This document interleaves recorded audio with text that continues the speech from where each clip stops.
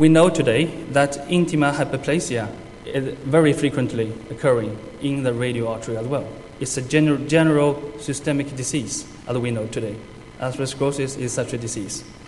And we also know this vessel bed is also frequently used, at least functionally, since the flow mediated vasodilation in this vascular bed do predict future events.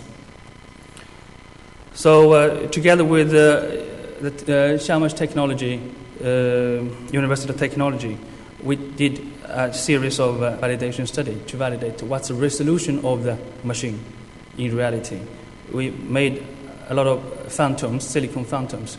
We could see that the true resolution using a 55 megahertz probe is down to 20 micron. And we took biopsies from human, uh, human uh, mesenteric artery biopsies. And we did 3D offline measurement. We could see clearly this very nice correlation, not only intima media thickness, but also intima. So suddenly we can see differentiate uh, intima from media, which is not known before with the clinical machine. So uh, with this kind of data, without any doubt, you can say, yes, it is intima we are measuring. Just to convince our uh, doubters. So we did another interesting experiment. We took a piece of vessel, flattened it, and I played with the lancet, peeled the endothelium off. What do you see here? You see breaks in the intima layer. You see the intima is gone.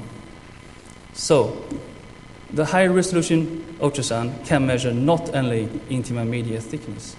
The first white line you usually see with the clinical machine It's not a machine artifact. It is something. It reflects the intima, intima thickness. I hope this image convinces you. And does it mean anything? We applied the machine on 320 patients in the first study, and we measured the intima thickness. And what happens is the intima thickness itself predict outcome. You can see those who have intima thickness uh, thinner than 80 micron have greater event-free survival. And this measure is much more powerful than conventional carotid IMT, carotid plaque.